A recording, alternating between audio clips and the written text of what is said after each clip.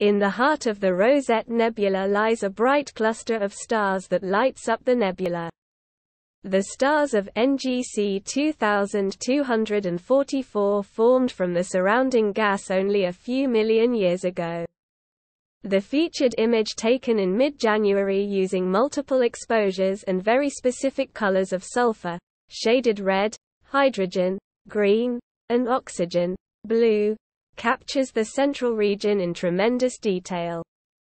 A hot wind of particles streams away from the cluster stars and contributes to an already complex menagerie of gas and dust filaments while slowly evacuating the cluster center.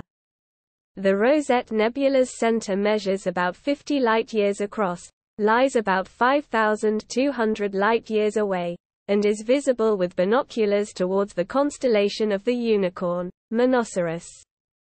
Your sky surprise. What picture did Apod feature on your birthday?